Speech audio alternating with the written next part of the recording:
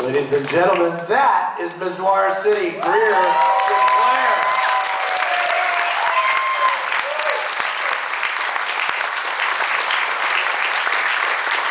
If you've seen our fabulous poster from this year's festival, yeah, that's Greer on that poster.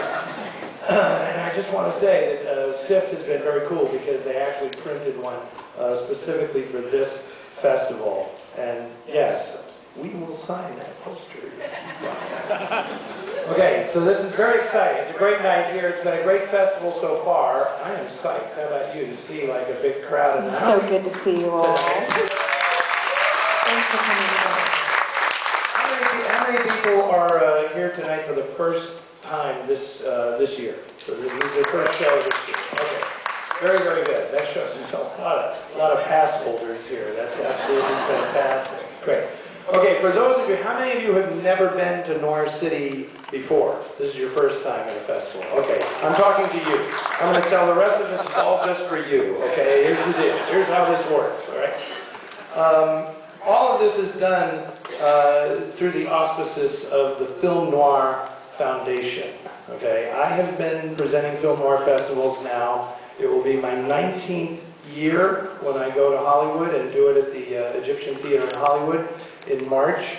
And early on in all of this, the decision was, you know, this has proven to be really popular. I mean, people all around the country come out to these various uh, festivals, and we did so well that it was, um, let's put the money that we make back into finding movies that were otherwise missing and restoring them. So that's what the Film Noir Foundation is all about. And Noir City is the exhibition arm the Film Noir Foundation. And so um, that was created in 2005. And since then, we have either restored or preserved almost, uh, I think it's 18 uh, or maybe 19 films uh, since we started doing this. And, uh,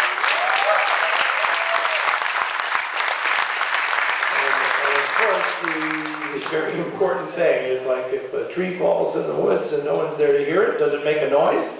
Uh, is there any point in restoring a film if there isn't an audience to watch it? So you all play an extremely important part in, in what we do.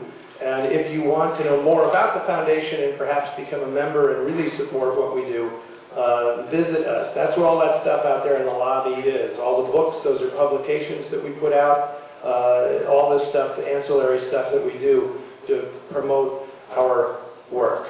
Okay, and there's even a donation drive. You can see we're doing a little donation drive and uh, giving away Mark Fertig's uh, poster book from Fantagraphics right here in Seattle.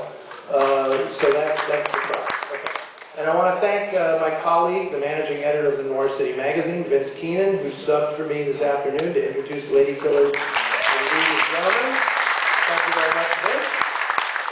And now, for the show that we are about to present, what is your favorite Stanley Kubrick movie?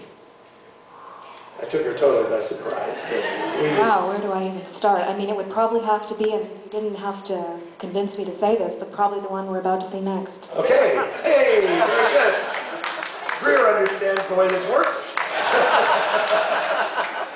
No, that's not true. Yeah, It's Sincerely, not, sincerely. it's not Barry Lyndon. You sure? Great All right, so here's the deal. If if you, you, you are a very sophisticated audience, and you guys know your film history and all that, so you know that Stanley Kubrick, one of the most visionary directors of the 20th century. Uh, maybe you don't know that he started out as a photographer for Look magazine, and a very, very noir-inspired photographer for Look magazine. He grew up in New York as a kid, uh, was a movie addict. Obviously, he saw a lot of these films when he was a young man. And when he finally had a chance to make uh, a true first feature film with the studio's involvement, um, he chose to make the film that you are about to see, based on a novel by Lionel White called Clean Break, about a racetrack robbery. Uh, the novel was written with a very unusual, inventive, backtracking narrative structure where everything would repeat. And I think that's what really attracted him to this project, that it was a non-linear uh, storytelling. Uh.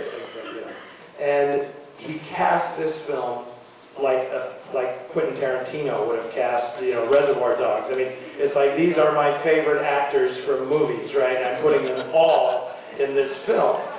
Uh, so this is in some way like the ultimate film noir cast with Sterling Hayden and Colleen Gray, the great Marie Windsor, Elisha Cook Jr., Ted DeCorsia, uh, Jay C. Flippen, uh, Joe Sawyer. It's an amazing cast of characters.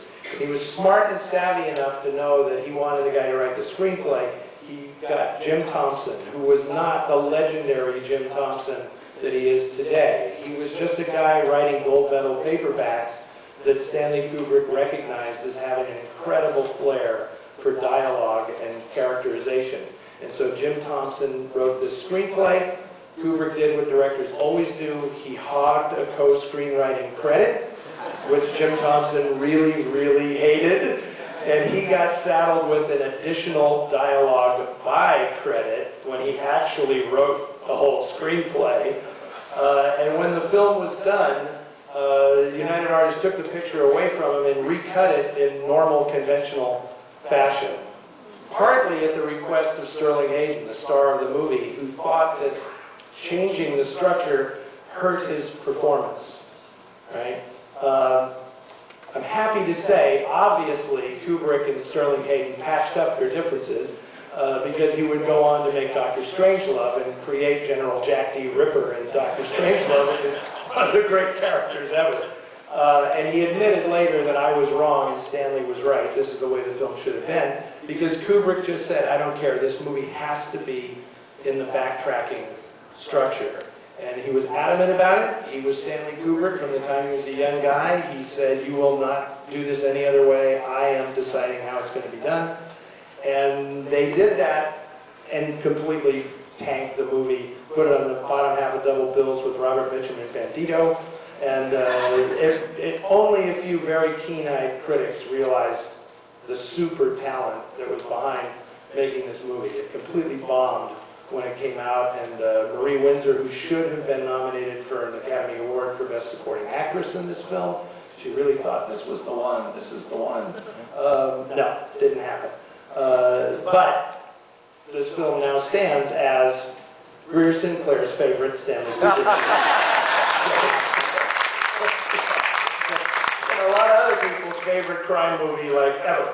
So, how many people have not seen The Killing before? Oh boy. Yo! Oh boy. What are we doing up here talking? Come on, let's go. See what the race is. You are in for a treat. Okay, enjoy Stanley Kubrick, The Killing.